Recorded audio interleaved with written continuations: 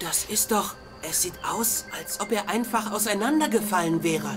Jetzt sind es nur noch ein paar Kiesel und ein paar Zweige. Ähm, was? Können wir den vielleicht irgendwie... Hm. Hm, kein Ton zum Mitnehmen. Freut er sich. Aber, aber, aber, aber, können wir den nicht zusammenkleben? Da muss kein klebriger Sirup drauf. Aber der arme Waldschrat, ich kann ihn doch nicht so liegen lassen. Wir müssen doch irgendwas tun.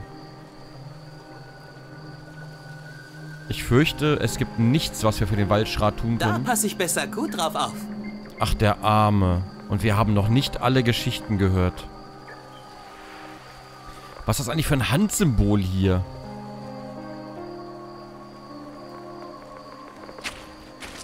Was für eine seltsame Statue. Da steckt ein kleines Steingesicht im leuchtenden Kristall. Und eine Art von Bernsteinding. Hm, ich höre einen feinen Ton. Ganz, ganz leise. Als ob man leicht gegen ein Glas geschnipst hat. Einen Ton. Und wir haben doch einen Tonträger.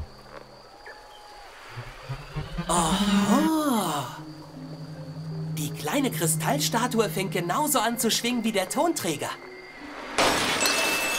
Oh, das Pfeifen des Windes am Portalbaumstumpf hat die kleine Statue zum Zerspringen gebracht. Aber das wollte ich nicht. Habe ich kaputt gemacht. Das nehme ich besser mit. Ich habe den Kristall, den, den schönen Kristall kaputt gemacht. Das wollte ich gar nicht. Habe ich wohl doch nicht kaputt gemacht. Okay. Bernstein. Der muss bestimmt irgendwo eingesetzt werden. Okay. Och Mann, der arme Waldschrat. Ich will dich ja nicht liegen lassen, aber ich fürchte, ich habe keine andere Wahl. Wie viele Kristallstatuen gibt es denn eigentlich? Das weiß ich gar nicht mehr. Ich fürchte, da müssen wir alle Screens nochmal ablaufen. Ich gucke nochmal ganz kurz. Hier war noch die eine. Dann machen wir mit der gerade mal das gleiche.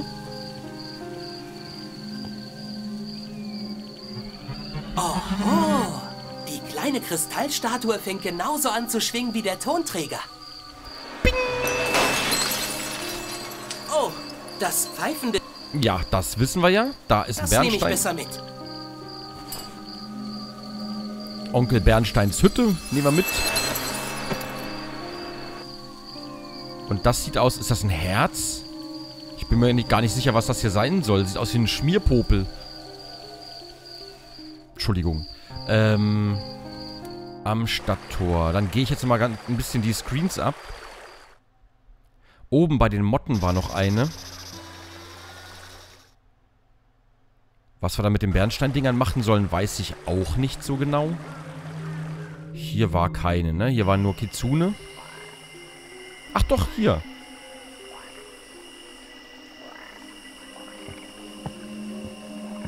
Da bin ich ja mal gespannt. Die kleine... Kr- Ja, Oh, das Pfeifen des Windes am... so, Das nehme ich besser mit. natürlich. Nehmen wir wieder mit.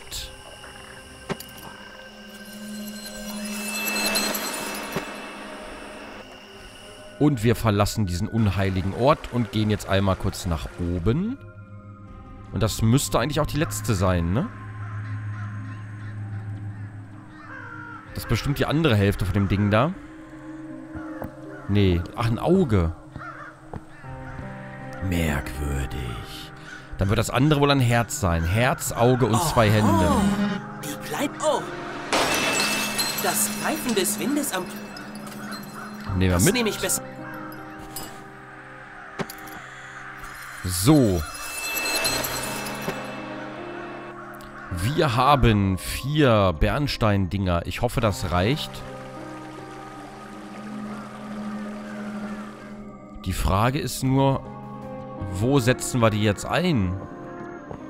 Ach, hier. Eins, zwei, da sind vier Löcher, glaube ich. Kann das sein?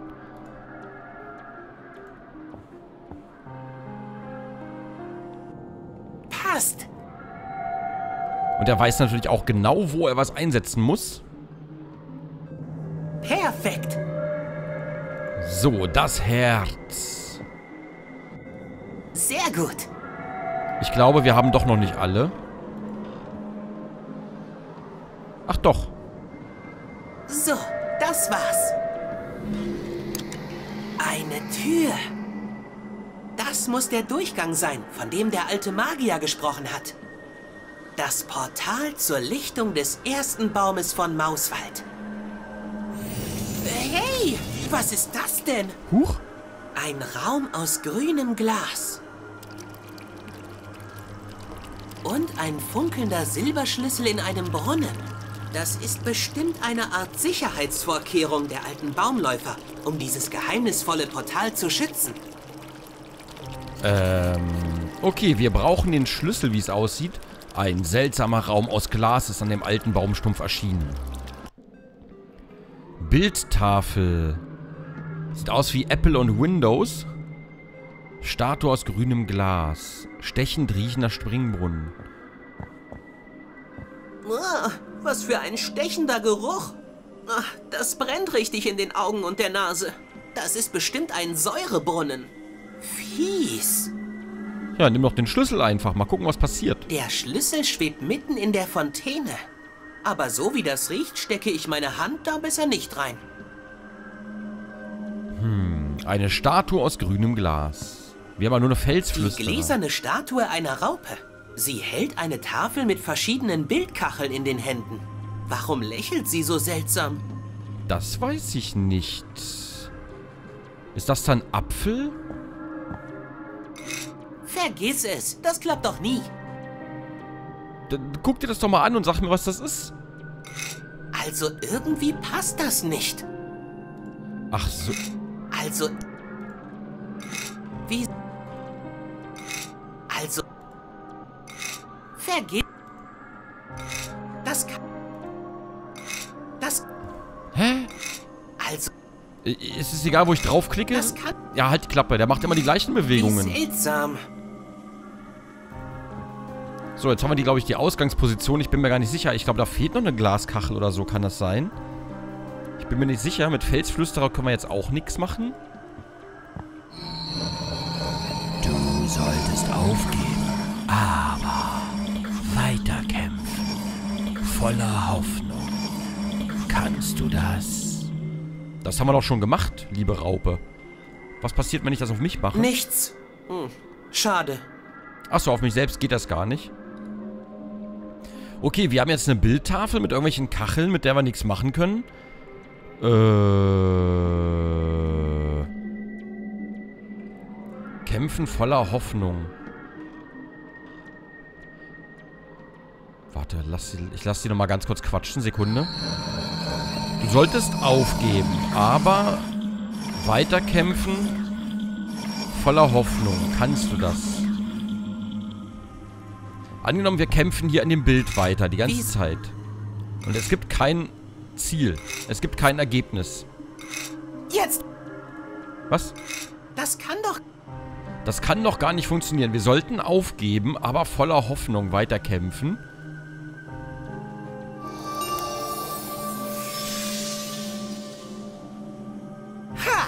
Ich hab diese Schiebepuzzle sowieso noch nie gemocht.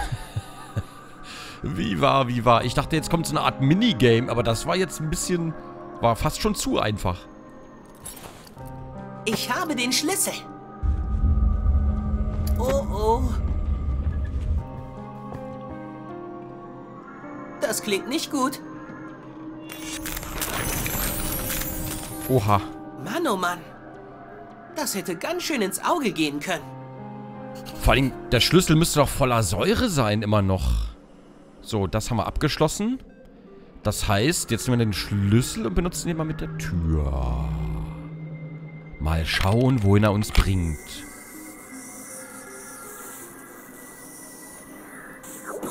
Ein Portal erscheint.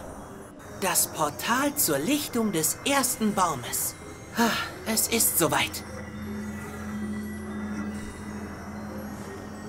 Wenn der Makino hier wäre. Oder der alte Magier. Er wollte versuchen, im Traum auf die Lichtung zu kommen und mich dort zu treffen.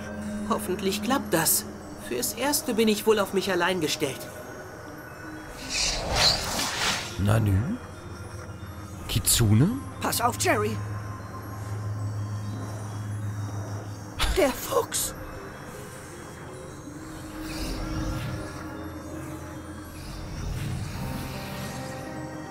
Oh, wo ist er denn? Er steht vor dir, Frosch. Oh, Oh, Plato, das ist Kitsune. Du hast sie schon einmal getroffen. Sie ist ein besonderer Fuchs. Das kannst du aber laut sagen. oh, Verzeihung.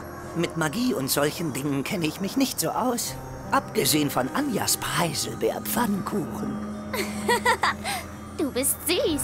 Kitsune, Plato, wieso seid ihr hier? Was macht ihr hier?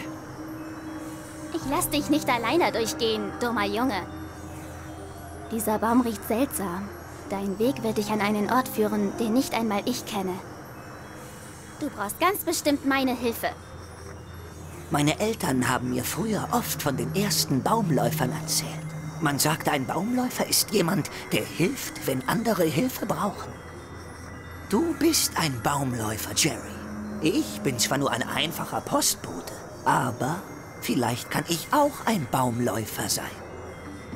Ich bin so froh, dass ich das nicht alleine machen muss. Also, Jerry, bringen wir es hinter uns. Wer auch immer das Gefüge der Welten stört, soll dafür büßen. Ich will zurück nach Hause. Ich will, dass meine Freunde wieder aufwachen. Und ich will, dass alles wieder gut wird. Alles. Und ich will, dass ihr endlich durch das Portal geht.